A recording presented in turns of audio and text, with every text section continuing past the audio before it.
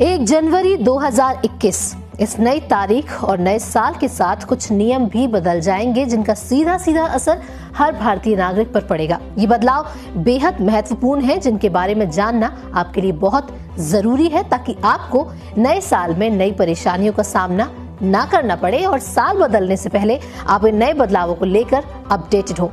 इस लिस्ट में 10 बड़े बदलाव शामिल हैं। कौन कौन से? आइए जानते हैं। Cheque payment system.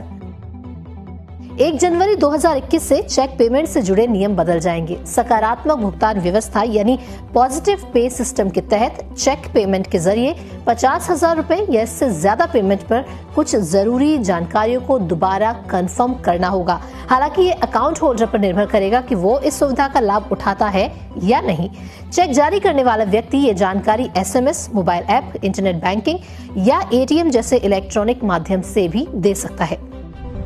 Contact lens card transaction भारतीय रिज़र्व बैंक ने कॉन्टेक्टलेस कार्ड पेमेंट की लिमिट्स 2000 से बढ़ाकर 5000 रुपए कर दी है। ये 1 जनवरी 2021 से प्रभावी होगा। डेबिट और क्रेडिट कार्ड से 5000 रुपए तक की पेमेंट्स के लिए पिन नहीं डालना होगा। महँगी हो जाएँगी कारें। ऑटोमोबाइल कंपनियाँ जनवरी 2021 से अपने कई मॉडल्स के दाम बढ़ाने जा रही हैं, जिसके बाद कार खरीदना पहले की तुलना में महँगा हो जाएगा। अब तक मारुति, महिंद्रा के बाद रेनो और एमजी मॉडल दाम बढ़ाने का ऐलान कर चुकी है। फास्टैग लगवाना होगा अनिवार्य। केंद्रीय मंत्री नितिन गडकरी ने 1 जनवरी 2021 से सभी चार पहिया वाहनों पर फास्टैग लगाना अनिवार्य कर दिया है। बिना फास्टैग के नेशनल हाईवे टोल पार करने वाले चालकों को दो गुना चार्ज देना होगा।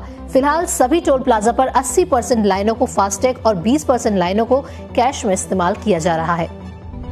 लैंडलाइन से मोबाइल पर कॉल करने के लिए लगाना होगा ज़ीरो। अगर आप एक जनवरी के बाद लैंडलाइन से किसी भी मोबाइल नंबर पर फ़ोन लगाते हैं तो उसके लिए आपको ज़ीरो का इस्तेमाल करना होगा। बिना ज़ीरो लगाए आपका कॉल नहीं लगेगा। म्यूचुअल फंड निवेश के लिए बदले नियम।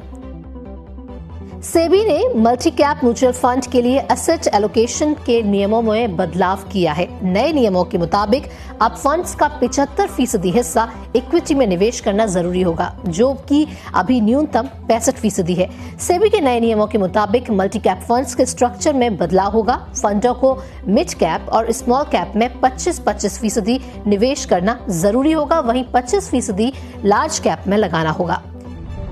यूपीआई पेमेंट में होगा बदलाव। एक जनवरी 2021 से यूपीआई के ज़रिए पेमेंट करना महँगा हो जाएगा। थर्ड पार्टी की ओर से चलाए जा रहे ऐप्स पर एक्स्ट्रा चार्ज लगाने का ऐलान किया गया है। National payment corporation of India की ओर से ये निर्णय लिया गया है। जीएसटी रिटर्न के नियम बदल जाएँगे। बता दें कि देश के छोटे कारोबारियों को सरल त्रैमासिक गुड्स एवं सर्विसेज़ टैक्स यानी जीएसटी रिटर्न फाइलिंग सुविधा मिलेगी। नए नियम के तहत जिन कारोबारियों का टर्नओवर पाँच करोड़ रुपए से कम है, उन्हें हर महीने रिटर्न दाखिल करने की ज़रूरत नहीं होगी। नया नियम लागू होने के बाद टैक्स पेयर्स को केवल आठ रिटर्न भरने होंगे। इनमें चार जीएसटी आर तीन बी और चार जीएसटी आर एक रिटर्न भरना होगा। सरल जीवा पॉलिसी होगी लॉन्च अब एक जनवरी के बाद आप कम प्रीमियम में बीमा भी खरीद पाएँगे।